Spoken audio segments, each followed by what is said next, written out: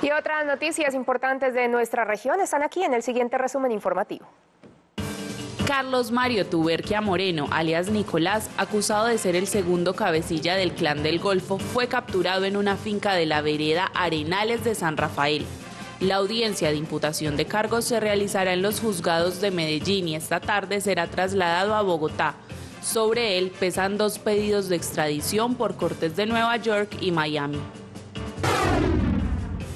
212 víctimas del conflicto armado en Medellín podrán emprender nuevos proyectos de vida tras recibir su indemnización.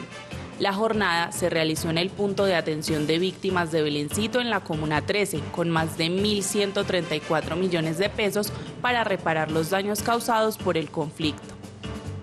Soy desplazada del 90. Mi familia y yo estamos muy contentos porque vamos a recibir la indemnización después de mucho tiempo. Hoy comenzó la rotación del pico y placa para el segundo semestre del año. Esta semana será pedagógica y a partir del lunes empezarán a regir las sanciones monetarias.